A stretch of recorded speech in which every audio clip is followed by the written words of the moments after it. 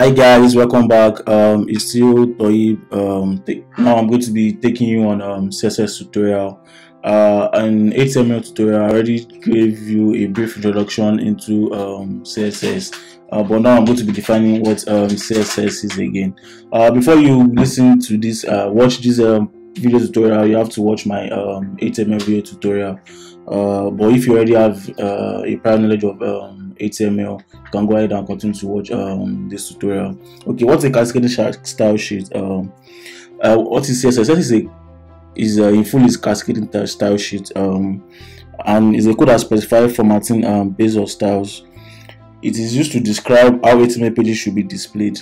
Okay, let me give um, a layman example. Let's say you just finished building a house. Uh, you need to make uh, make the house look good. And by making it look good you have to paint uh, the house. Painting the house is just like you um, are using style sheet on html pages. So i'm going to be showing you how um, css is being used uh, together with html there are three ways in which you can use css with html uh, okay you can use the styles attribute uh, style tag inside the head section of your HTML page. I'm going to be using some of our previous example, previous examples we use in our HTML tutorial. So this is the first uh, way of making use of um, CSS style sheet using the style tag inside the H, the head section of your HTML page. This way. Uh, I'll quickly give a brief illustration of how to use um, CSS. Uh, okay, let's say I want to make um, this table we have here. I want to make have a background color of um, blue I'll just go ahead and reference the table tag.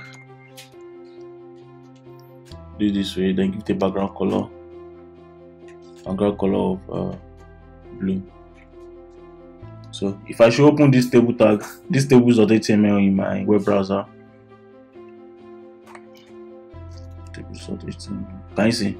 That is one way of using um, CSS together with HTML another way we can use CSS with HTML is by um, declaring the style attribute inside the tag we want it to uh, style.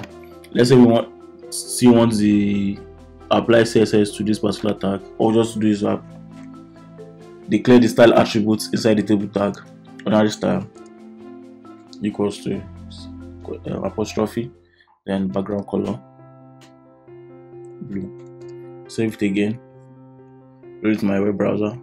Can you see?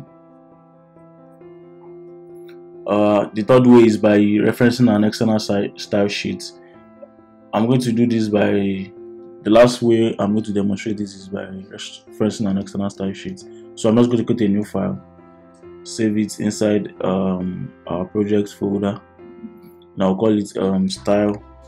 And one more thing CSS files are being saved as .css with the CSS extension, just as the way we um, save HTML files as .html, CSS files have staged, um, saved as m.css. So I'm going to save this as style.css. Then inside my um, tables uh, tables.html file, I'm going to reference that style by calling the link tag. Link tag. So can you see well style sheet? This defines that as a style sheet then the type is um, text slash css and i'm going to reference the file. Don't forget our reference um, row. If it's the same folder you just call the style name alone the file name alone. If it is in a folder that is before the document folder we add um, two dots followed by a backslash. If it is inside the folder we declare the folder uh, name to followed by slash then we're going to save it. Let's load our free browser. Can you see? No style is being applied but inside my the style.css file let me start the table tag. Background. Background color. Give it color blue. Oops. What's going on? Uh, tables.html style.css uh, which folder is this being saved okay my bad. I saved it as um, styles.css that was my mistake. That was a mistake on my part. So i'm just going to add s to it. And refresh. Guys see? Brilliant it works. So in future tutorials i'm going to be um, teaching you how to style text um, using css adding fonts color font weight family font size color uh, as in future tutorials. So bye for now